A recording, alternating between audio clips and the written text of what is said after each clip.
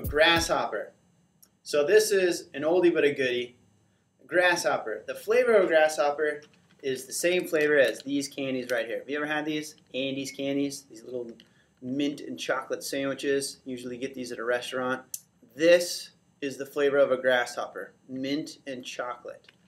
So, you know chocolate. What is chocolate flavored liqueur in your bar? Creme de cacao. Then, our mint we have is called creme de menthe. So the HE on the end of this is silent. This is not creme de meth. Okay, this is creme de menthe. And this is your mint flavored liqueur. Kind of like creme de cacao. They make creme de menthe in regular creme de menthe that has a green food coloring in it.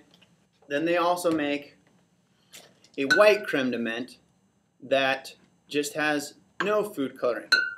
They make them both ways so that if you do or you do not want to affect the color of the drink. So grasshopper, that's a little green bug, so we're going to use our regular green colored creme de menthe. So this is a drink that can be made on the rocks in a highball glass, or it can be made straight up in a martini glass. Since this one's pretty rare, you're not going to get it that often, honestly. I think it's fun to make these things straight up. So let's let's make this thing straight up. So anytime you chill a drink, remember third to a half a tin of ice. We're using our green colored creme de menthe. We're going to use our white or clear creme de cacao.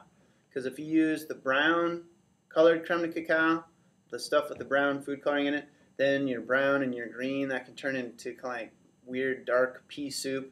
So you want to use your clear creme de cacao if you can. But if you don't have it, then still make it but use the clear creme de cacao if you can. So, one ounce alcohol total. Take our creme de menthe and our creme de cacao. It's going to be a two count of each of those. One, two, into our tin. Then, since this is a two ounce glass, we have one ounce of alcohol in our shaker tin. That means we're going to need about one ounce splash of milk or cream into our tin.